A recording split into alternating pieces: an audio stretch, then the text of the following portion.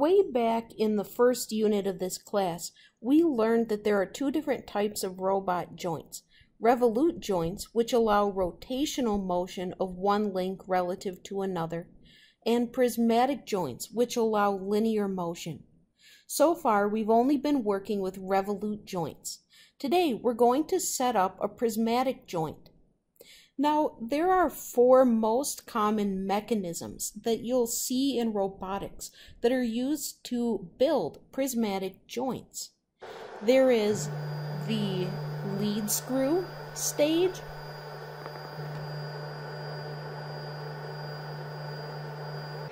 the belt drive,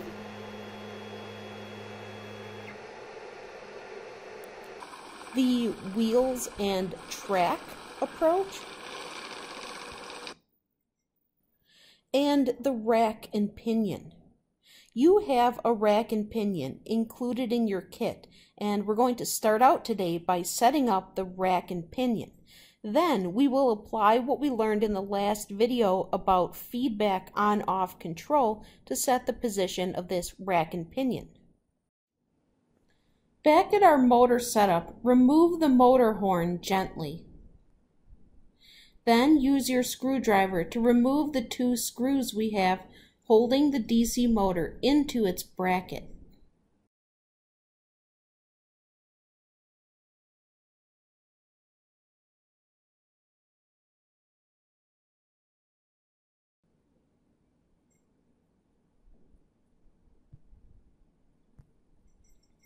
Find the rack and pinion in your kit. Take these two small screws and set them aside for now. Flip the board over and use the screwdriver to unscrew these two screws that are holding the motor bracket onto the board.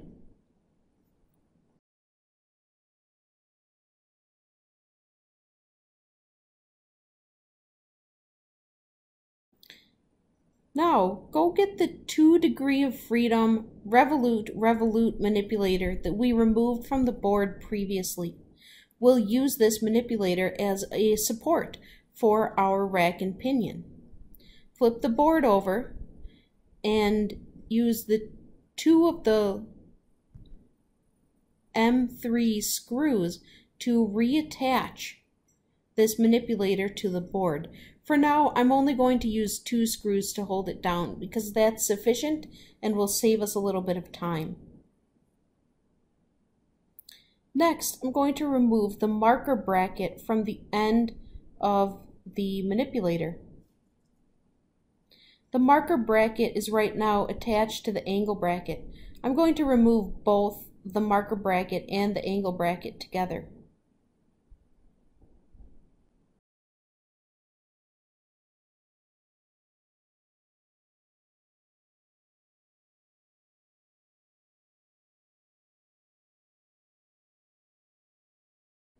I'll use the long M3 screws and a nut on the bottom to attach the rack and pinion horizontally like this.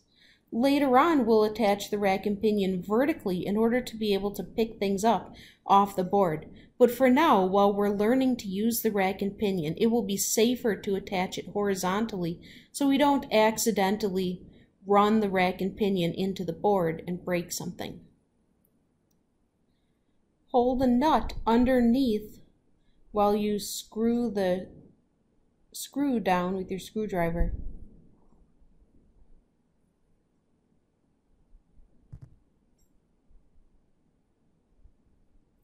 Next, we'll attach the motor.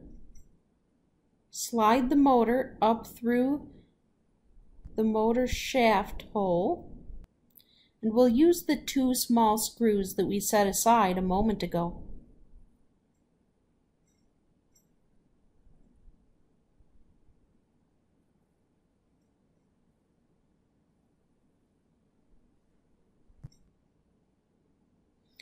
Now find the pinion.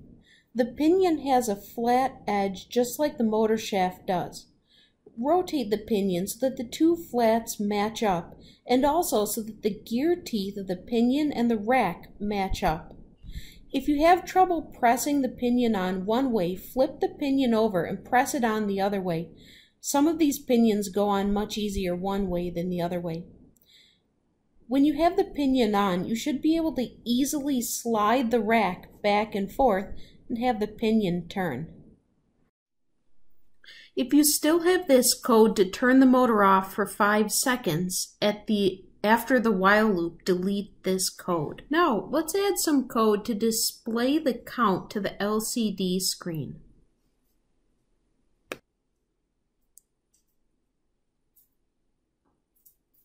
We'll clear the display.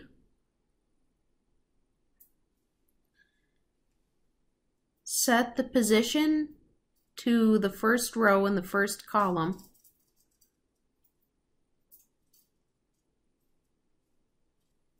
And for now, we'll display the count difference.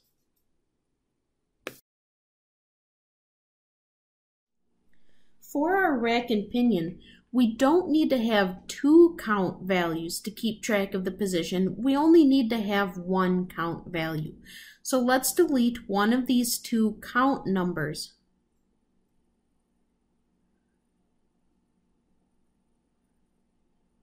and then change the name of count 1 just to count. Let's delete some of these other variables that we don't need and create a new variable to hold our target count. This will be like our target position in our control algorithm. Let's make two target count positions so that we can make our rack and pinion switch from one position to another. Let's set target count 1 to 1000 and target count 2 to 2000. Now let's clean up this code a little bit.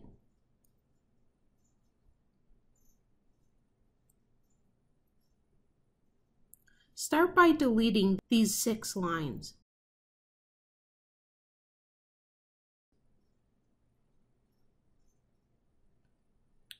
In our code, we'll start by setting time equal to zero. Then, while time is less than 5,000, that is, for 5 seconds, we'll get the current position from the quadrature decoder. Delete this line. Now, we'll check to see if the count is less than the target count.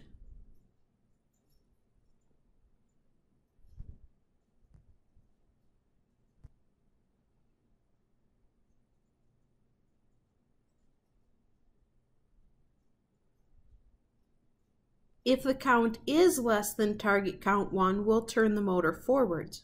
Else, if the count is greater than target count 1, we'll move the motor backwards. Else, we'll turn the motor off. Down here, let's print the current position, count. Now, copy this entire while loop, including the initialization of time at the top. Paste it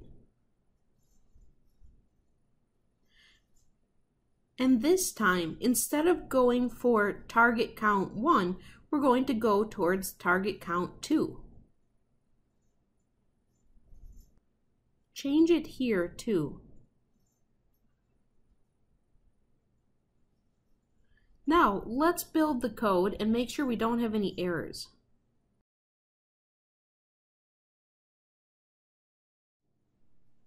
If you have no errors, program the PSOC. Before plugging in the external power supply, pull the rack and pinion so that it's kind of in the middle. We want to do this because we don't know which direction is going to be positive yet. Now plug in the external power supply and watch what happens.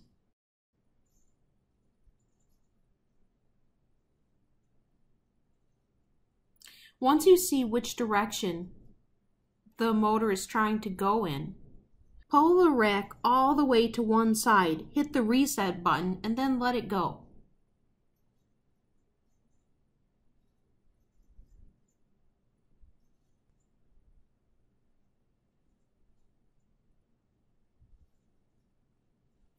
The rack and pinion should slide between two positions approximately every 5 seconds. You can run this again by unplugging the external power supply, moving the rack all the way to one side, hitting the reset button on the PSOC, and then plugging in the external power supply. When we unplug the external power supply, we can freely move the rack back and forth and we can watch the position on the screen. When you do this, you can see that the count is going between its minimum point, 0, and its maximum is 3,000. This will help us to set positions that we want on the rack and pinion, knowing that from one side to the other side is 3,000 counts. You'll also notice as you watch the rack slide from side to side that our control is still unstable. Even after the rack comes to a stop, the motor is jittering violently back and forth. We would like to have the motor come to a stop when the rack gets to the correct position and not continue jittering back and forth. We could get the rack and pinion to move faster by changing the compare value. We can make this number as high as 100 to get it to move at its maximum speed. But this will also increase the instability in the motion. We have used on-off control as a first example of feedback control in this video. In the next video, we'll look at a couple of ways of improving the stability of this control.